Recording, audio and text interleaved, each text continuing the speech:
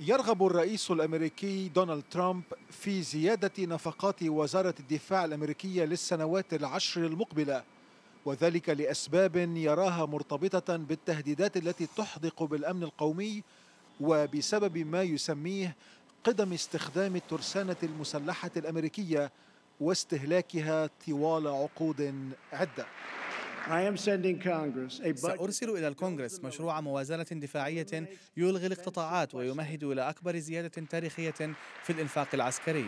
وتمنح خطة ترامب لرفع موازنة البنتاغون سلاح البحرية الأمريكي حصة لافتة في تحديث أساطيله من خلال رفع حجم قطاعه البحرية والحفاظ على تفوق الولايات المتحدة العسكري في المياه الدولية. بدءا من الخليج وصولا إلى المحيط الهادئ.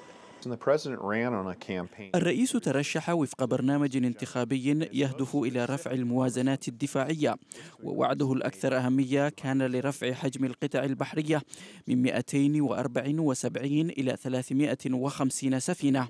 ويؤمن الرئيس الأمريكي ومعه قادة البنتاغون بضرورة تزويد أفراد القوات المسلحة الأمريكية بالأدوات اللازمة لمنع نشوب الحروب التي قد تهدد أمريكا وأيضا لتوفير الجهوزية لشن حروب والانتصار فيها.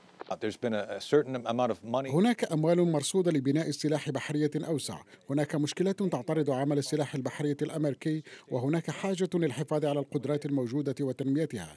موازنة الرئيس الأمريكي المتوقع رفعها إلى الكونغرس يوم السادس عشر من الشهر الجاري ستمنح البنتاغون قدرات عسكرية بالغة الأهمية للتعامل مع مخاطر وتهديدات نزاعات دولية عدة. أبرزها الحرب ضد الإرهاب وضد عنف المجموعات الراديكالية. من واشنطن جو تابت الحرة.